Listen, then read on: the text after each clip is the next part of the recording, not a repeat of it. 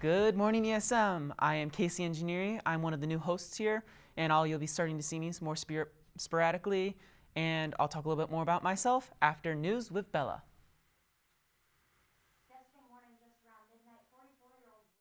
Laney was killed and his 27-year-old son was injured from a shooting in Lysander on Cold Springs Road. The cause was between the father and son and one of their neighbors, Raymond Kratz. A woman who was with Kratz was having an affair with Delaney. The argument led to Kratz pulling out an illegal ghost handgun. The injured son is at Upstate Hospital with non-life-threatening conditions. Kratz is currently in custody and has additional charges that are pending as the police continue to investigate. Dr. Anthony Fauci recently said in a statement that we are most likely to be wearing face masks in 2022. Both Fauci and President Biden agreed that the country could return to a significant degree of normalcy, but face masks continue to linger for, for uh, sorry, could possibly continue to linger a year from now. Fauci said that in order for there to be no mass, coronavirus levels would need to be so low that there is a very minimal chance that someone is exposed to an infected person. Shortly after Fauci's recent statement, the New York Department of Health released new guidelines on face coverings.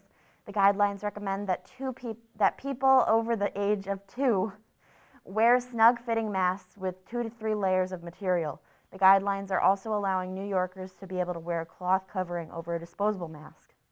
It is also recommended we save high grade masks like KN95s for those with a greater risk of illness. Health Commissioner Dr. Dave A. Chokshi said in a statement, masks help us face the world and each other, but it's important that we cover up correctly. Last Wednesday, a bomb squad in Ohio was called on a report of suspicious package in Butler County. When specialists arrived upon opening the package, they discovered that it was never a bomb, but a bag full of six healthy kittens. The sheriff's office took mom, Sprinkles, and the new babies to the Animal Friends Humane Society in Hamilton County, where they are healthy and happy. Please stand for the Pledge of Allegiance. I pledge allegiance to the flag of the United States of America and to the republic for which it stands, one nation under God, indivisible, with liberty and justice for all.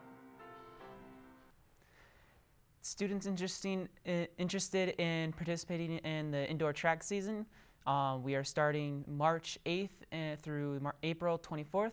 Please sign up on Family ID and make sure you email Coach Staub at cstaub at esmschools.org for more information and information about the virtual meeting. The senior class is ho- holding a Panera fundraiser and it's happening this Wednesday, so tomorrow, um, from 4 to 8 in the Fayetteville Town Center Panera. Folks will need to show their flyers on their phones or if they're doing in store or have the code PRFUND, so that's P R F U N D when ordering online. You can find the flyer on the Instagram account, and thank you for your support. The ESM weight room will be closed at 5:30 on Wednesday tomorrow. Please plan your rides accordingly so you are not staying there. If you have any questions, see Coach Esbacher. Okay. So a little about me. I am 17 year old. I'm senior for this year, so this will be the only year you really see me. You may find if you go back in the archives, which you may see me, maybe. I did show up with a few, but I mostly have not been on air. I mostly worked in our back room with making these productions. Um, yeah, so enough about me. We can talk more about me after weather with Grayson.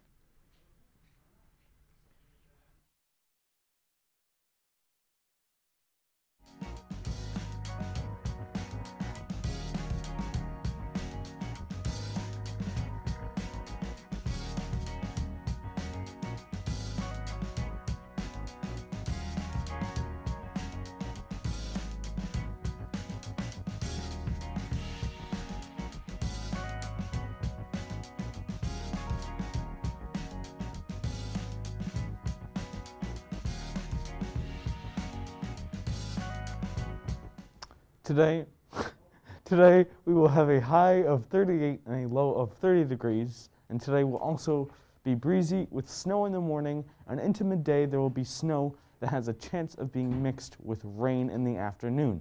We can expect to get an inch of snow but it will be two to four inches of snow over higher terrain. And tonight there will be a few there will be a few rain showers and snow showers north of the thruway, and there will be little accumulation. Wednesday we'll have some rain snow. Sorry. Wednesday we'll have some rain showers developing in the afternoon and turning into lake snow showers Wednesday night. And as always, I'm Grayson with your weather.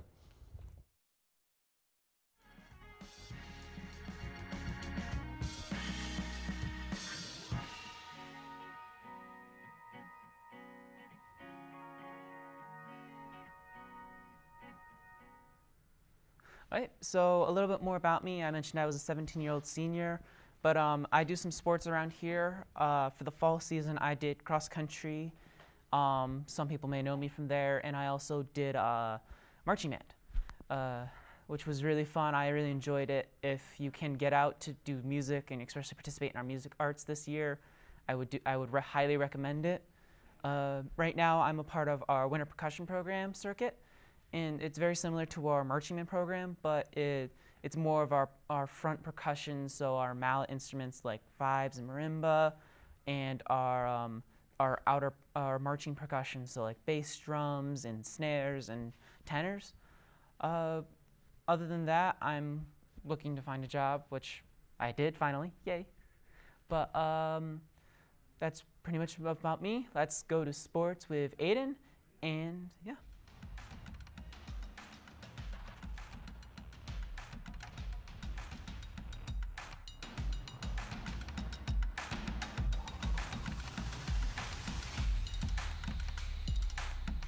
In upcoming games, the boys basketball team plays at Fulton at 7. SU men's basketball lost to Duke last night, 71 to 85. Buddy Boeheim led the team in points with 21. The Steelers recently announced that the head coach Mike Tomlin tested positive for COVID-19. I'm Aiden with your sports.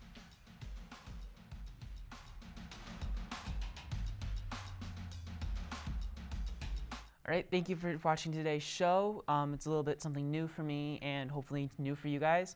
Um, just some reminders we have some websites for our schools. Our first one is for this, which is our main archive, which is the ESM schools slash SN, which you just saw there.